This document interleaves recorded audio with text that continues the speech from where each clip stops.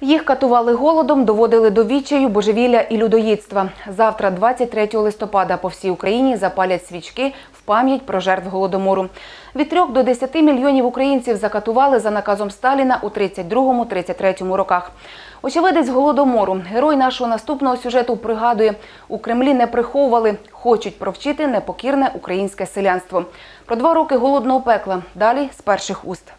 Життя Олексія Слюсаря назавжди розділилося на два періоди – до та після Голодомору. На очах дев'ятирічного хлопчика пухли з голоду сестри, брати і батько. Всі померли. Хто не міг бачити, як мучаться рідні, накладав на себе руки, пригадує дідусь. Наприклад, мого товариша, е, малого мати, приходимо вона на сволоці на печі, вірьовкою до сволока, отак. І так і погибла. О, це ж я побачив. Заможне село вмить перетворилося на пекло, пригадує чоловік. Вулицями ходили не люди, а голодні привиди. Вони марили їжею. Коло дядька Панаса кладбище, і я стояв, він каже, кожен день загортають, а не подивись. Я пішов, чоловік сім трупів кидають, а ще деякі ворушаться.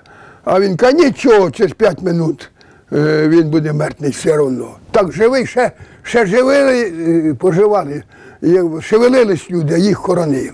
Втікати від голодного божевілля хлопчик за порадою сусідки кинувся на кордон з Росією. Туди наляканий і вже теж опухлий з голоду дістався товарним потягом. Рятівний шмат хліба отримав з рук милосердної росіянки.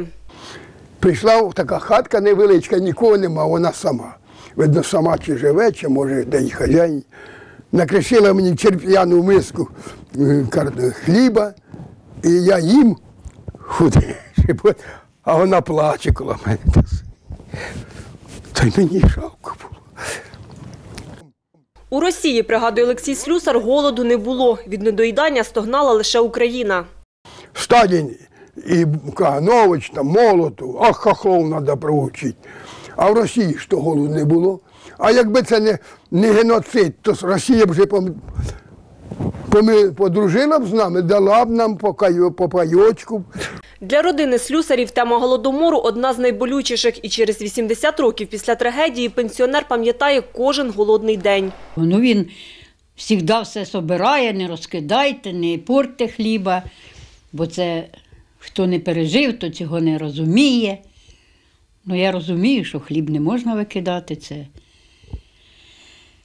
як сказати, Божий дар. Попри пережити, Олексій Слюсар – оптиміст і жартівник. Каже, покидати цей світ не боїться, бо зазирнув у вічі смерті ще в дитинстві. Від страшних спогадів рятується малюванням. Пише картини щоденно. Його мрія – померти з пензлем у руках. Олена Берестенко, Сергій Фімов, Віка Новини.